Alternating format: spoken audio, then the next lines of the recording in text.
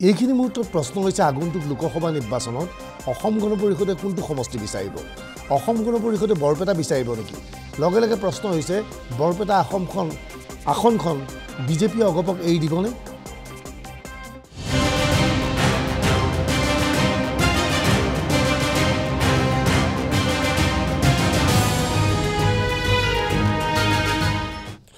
আগতে বৰপেটা লোকসভা আসনৰ বাবে কংগ্ৰেছ বা এ আই ডি এফৰ বাদে আনে বিশেষ গুৰুত্ব দিয়া নাছিল।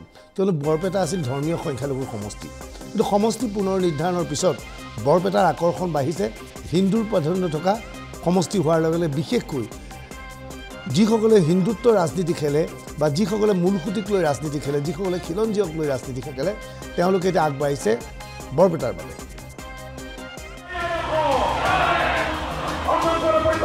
সোমবাৰৰ দৃশ্য এয়া। বৰপেটা লোকসভা সমষ্টিৰ অধীনস্থ নলবাৰীত অসম গণ পৰিষদে বুথ লেভেল সভাৰ আয়োজন কৰিছিল। দেল্লীৰো আয়োজন কৰিছিল অগপৰ। অগপৰ এই সভাত যথেষ্ট সংখ্যক লোকৰ সমাৱেশ ঘটিছিল। আচলতে অগপই এই সভাৰ জৰিয়তে বুজাব বিচাৰিছে বৰপেটা লোকসভা সমষ্টিৰ পৰা অসম গণ পৰিষদে আগন্তুক লোকসভা নিৰ্বাচনত প্ৰাৰ্থী থিয় কৰাব বিচাৰে। এটা সময়ত বৰপেটাৰ পৰা অগপ সাংসদ বিজয়ী হৈছিল সমষ্টি পুনৰ নিৰ্ধাৰণৰ পিছত বৰপেটা অগপৰ বাবে জিকিব পৰা সমষ্টি হৈ পৰিল। এতিয়া বৰপেটাত সংখ্যালঘু ভোটাৰৰ প্ৰাধান্য নাই। বিজেপিৰ একাংশ নেতাই অগপৰ এই সমষ্টিৰ পৰা ফণীভূষণ চৌধুৰীক প্ৰাৰ্থিত্ব দিয়াটো বিচাৰে। অৱশ্যে এতিয়াও প্ৰাৰ্থী চূড়ান্ত কৰা নাই অগপই। মুখ্যমন্ত্ৰীৰ ধাৰণা এই সমষ্টিৰ পৰা বিজেপি অথবা মিত্ৰজোঁটৰ প্ৰাৰ্থী অনায়াসে জয় কৰি নিব পৰা যাব। শেহতীয়াভাৱে অগপই সমষ্টিটোত নিজৰ শক্তি বৃদ্ধি কৰিবলৈ চেষ্টা চলাইছে। ধুবুৰীৰ লগতে জিকা সমষ্টি হিচাপে বৰপেটা অগপক দিব বিচাৰে বিজেপিয়ে অৱশ্যে প্ৰাৰম্ভিক অৱস্থাত অগপই কাজিৰঙা সমষ্টিটো বিচাৰিছিল। কাজিৰঙাৰ মুঠ তিনিটা সমষ্টিত অগপ বিধায়ক আছে। কৰ্মীসকলৰ যি ত্যাগ এই ত্যাগ অথলে নাযায়। অনাগত দিনত আমি নিশ্চিত যে ৰাজ্যখনত ৰাজ্যখনত এইবাৰ লোকসভা নিৰ্বাচনতে কংগ্ৰেছৰ বেলি মাৰ যাব। আৰু বিশেষকৈ লোকসভা বৰপেটা লোকসভা সমষ্টিত মাৰ যাবই। কাৰণ ইয়াত এতিয়াও কংগ্ৰেছৰ এম পি আছে। চৌব্বিছ ঘণ্টাৰ পূৰ্বে অতুল বৰাই এনে মন্তব্য আগবঢ়াইছিল নলবাৰীত কিন্তু চৌব্বিছ ঘণ্টাৰ পিছত হঠাৎ পথ পৰিৱৰ্তন ঘটিছে। অগপৰ বাবে এটা বেয়া খবৰ। বৰপেটাৰ পৰা প্ৰাৰ্থিত্ব বিচাৰিছে নলবাৰীৰ প্ৰাক্তন বিজেপি বিধায়ক অশোক শৰ্মাই অশোক শৰ্মাৰ আৰ এছ এছৰ সৈতে ঘনিষ্ঠ সম্পৰ্ক। ইতিমধ্যে মই অসমৰ মাননীয় মুখ্যমন্ত্ৰী ডক্টৰ হিমন্ত বিশ্ব শৰ্মা ডাঙৰীয়াক এই কথাটো মৌখিকভাৱে আবেদন জনাইছোঁ। তেখেতক মই আমাৰ ৰাজ্যিক কাৰ্যালয়ত উপস্থিত হৈ তেখেতে আমাৰ ৰাজ্যিক কাৰ্যালয়ত মাজে মাজে যেতিয়া কাৰ্যকৰ্তাক লগ ধৰে সেই সময়তে মই তেখেতক লগ ধৰি আমাৰ দলৰ পৰা বৰপেটা লোকসভাত প্ৰাৰ্থিত্ব বিচাৰিম। সেই কথাটো মই তেখেতক কৈছিলোঁ। আৰু তাৰপিছতো মই যেতিয়া লগ পাই তেখেতক কৈছোঁ আৰু মই কৈছোঁৱেই যে যিহেতু মই দুহেজাৰ একৈছ চনত বিধায়কৰ প্ৰাৰ্থিত্বটো নাপালোঁ তাৰপিছতো মই যিহেতু বিৰোধ নকৰাকৈ দলৰ হৈ কাম কৰি আজিলৈ আছোঁ সেইকাৰণে এইবাৰ বৰপেটা লোকসভাত প্ৰাৰ্থিত্ব দিলে মই কৃতাৰ্থ হ'ম আৰু ৰাইজক সেৱা কৰাৰ পুনৰ এটা সুবিধা পাম। কিন্তু অগপই বিচাৰিছে এইবাৰ বৰপেটা লোকসভা সমষ্টিত তেওঁলোকে প্ৰাৰ্থিত্ব দিয়াটো অগপ নিশ্চিত বৰপেটা সমষ্টিৰ পৰা তেওঁলোকে অনায়াসে নিজৰ প্ৰাৰ্থীক বিজয় কৰি নিব পাৰিব। কিন্তু অশোক শৰ্মাই ভাবে বেলেগ ধৰণে। পুনৰ নিৰ্ধাৰণৰ কাৰণে বা বৰপেটা লোকসভা সমষ্টিত আমাৰ নলবাৰী বৰক্ষেত্ৰী আৰু হাজো সমষ্টিৰ অন্তৰ্ভুক্তিৰ লগতে বাগবৰ সমষ্টি বা জনীয়া সমষ্টি ওলাই যোৱাৰ পাছত এইবাৰ ভাৰতীয় জনতা পাৰ্টীৰ কাৰণে এই চিটটো মসৃণ হৈছে। অৰ্থাৎ জিকাৰ কাৰণে সহজ হৈছে।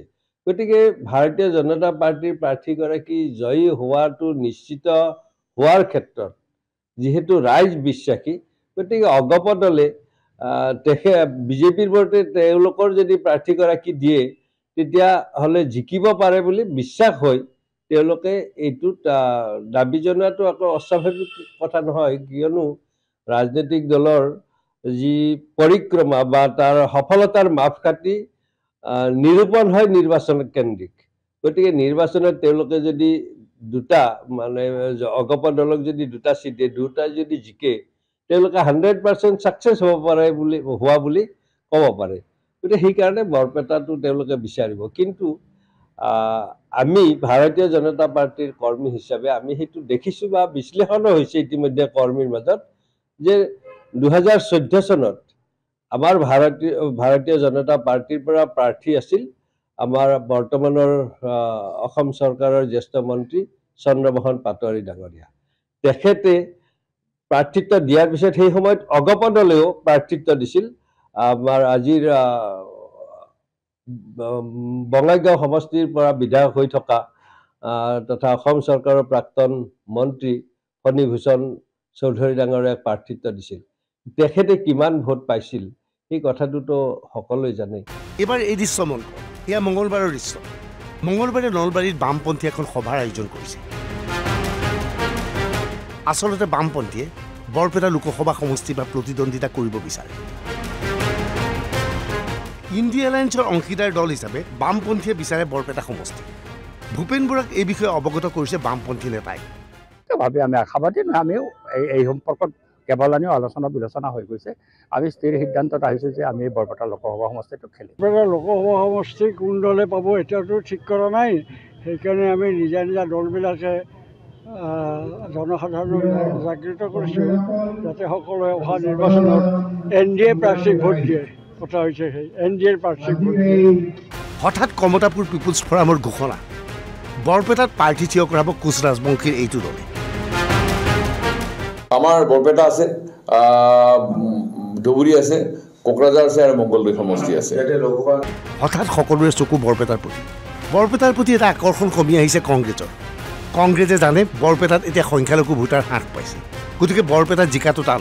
সেয়েহে আন নালাগে। বৰপেটা লোকসভা সমষ্টিৰ সাংসদ আব্দুল খালেকে বৰপেটাৰ পৰিৱৰ্তে মুছলমানৰ প্ৰাধান্য থকা ধুবুৰীৰ পৰা আগন্তুক লোকসভা নিৰ্বাচনত প্ৰতিদ্বন্দ্বিতা কৰিব বিচাৰে। Bureau' report NB news.